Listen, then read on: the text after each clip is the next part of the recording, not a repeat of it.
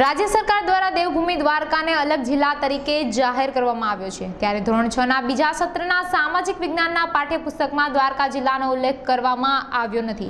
આ વિશે જામખંભાળિયાની એક શાળાની વિદ્યાર્થીનીઓએ જણાવ્યું હતું કે પાઠ્યપુસ્તકમાં ગુજરાતના તેત્રીસ જિલ્લાને બદલે છવ્વીસ જિલ્લાનો જ ઉલ્લેખ કરવામાં આવ્યો છે, જેમાં દ્વારકા જિલ્લાની ગણતરી કરવામાં આવી નથી. તેમજ પાઠ્યપુસ્તકની પુનઃ પ્રકાશિત થયેલ આવૃત્તિઓમાં ગોટાળો સુધારવામાં આવ્યો નથી. મારું મારું નામ મેહુલ છે, હું ધોરણ છમાં અભ્યાસ કરું છું. ગુજરાતમાં ગુજરાતમાં તેત્રીસ જિલ્લા છે, એમાંથી અમારી સામાજિક વિજ્ઞાનમાં છવ્વીસ જિલ્લા બતાડે છે. અમારું દેવભૂમિ દ્વારકા જિલ્લો આમાં છે જ નહીં.